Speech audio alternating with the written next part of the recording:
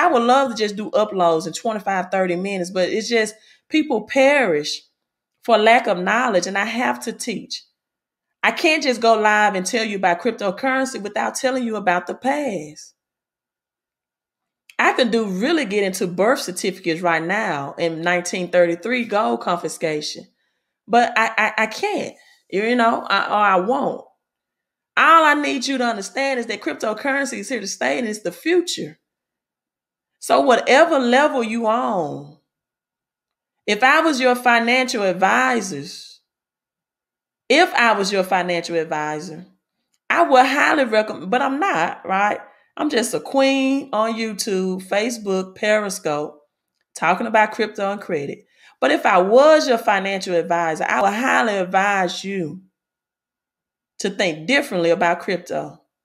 It's not just an investment, it's the currency of the future. And you have people that can get in at ground level.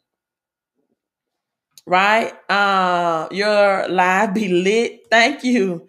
You need to podcast. You know what? I would just listen. I know you probably probably say, Queen, I'm so tired of you talking about mentors. But let me tell you, a true queen need kings and uh, a true queen need kings, right? So I have I have a lot I have spiritual mentors, and he knows I'm passionate about the church and what they're. Uh, I feel like many of them are lacking, right? And um, and I just sent him this picture. I said, you know, I got this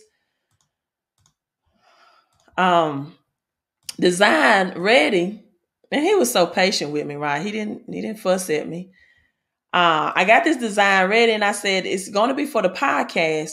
But I said, I don't think I want a podcast until the summer, right? Because I always get things started. I do too much. But I think I put too much on my, my plate. I would love to just have private groups where I can mentor people, but I decided to just make a cash on crypto book and if you all haven't um, got the book, all of my cryptocurrencies is 30 pages are in this book, in this report. And it's a uh, PDF, right?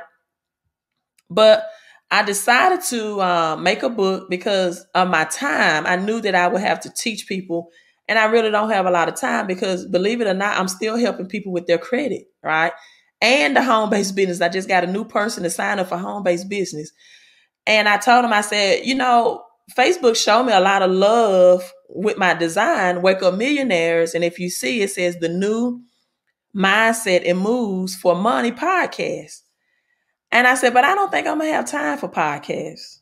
But you know, someone came in, you you say you think I should do it, I'll look at that.